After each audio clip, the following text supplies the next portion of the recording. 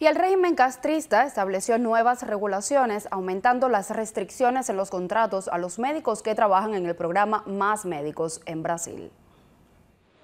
Con el propósito de evitar que médicos cubanos en Brasil deserten de la misión, el régimen comunista de Cuba impuso nuevas cláusulas en los contratos, según denuncias de los propios galenos.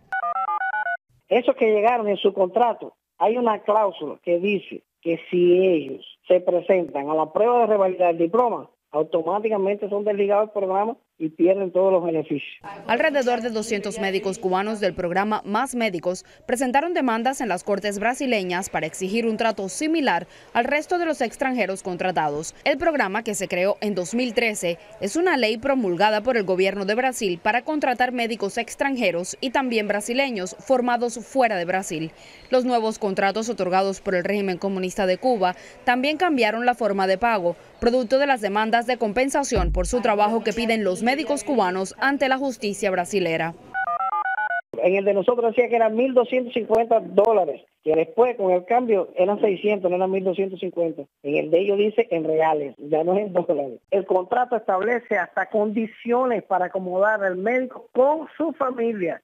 Y los médicos de otros países vinieron con su familia, menos los cubanos. Después ellos permitieron que vinieran 90 días y después dijeron que 30 días nada más. Y a los 30 días una persecución. ¿Cuándo se va tu pariente? ¿Por qué no vino? ¿Dónde está? Tiene que sacarlo. Si no se, te lo saca, te vas tú también.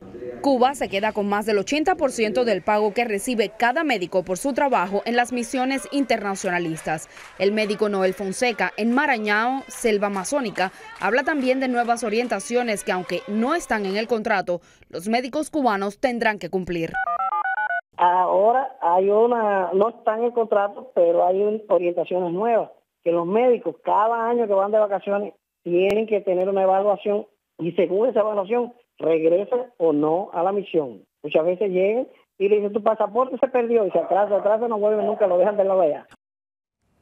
Desde 2013 hasta la fecha, 11.400 médicos cubanos han prestado servicios en 3.356 municipios en el país suramericano.